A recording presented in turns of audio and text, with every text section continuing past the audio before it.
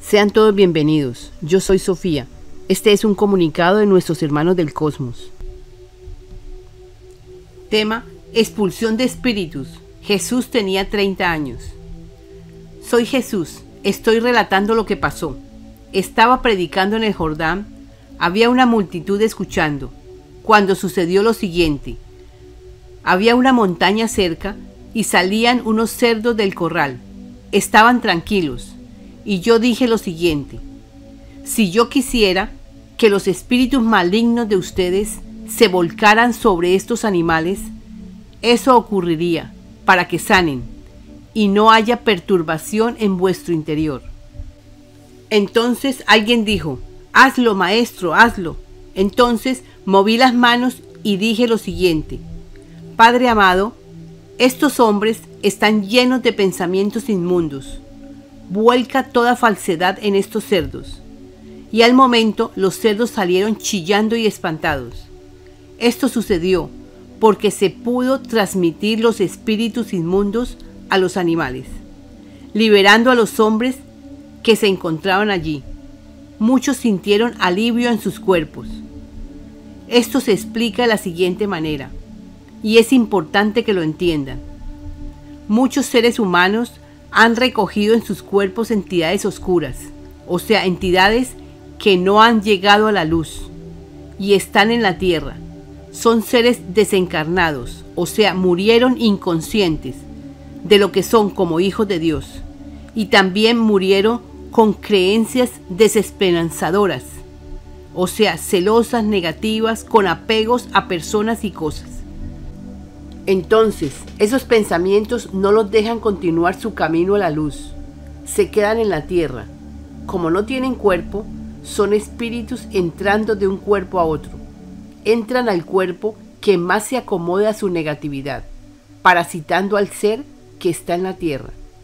Esto ocurre con mucha frecuencia. Eso fue cierto, el relato que colocaron en la Biblia. Lo que ocurrió en esa ocasión fue verdad. Los espíritus inmundos se volcaron en los cerdos, por eso salieron espantados los cerdos. Yo Jesús añadiría lo siguiente, el hombre es lo que piensa. Si sus pensamientos están basados en lo irreal, atrae lo mismo. Si sus pensamientos están centrados en la sabiduría divina, recibirán lo mismo a gran escala. Somos todos, somos uno.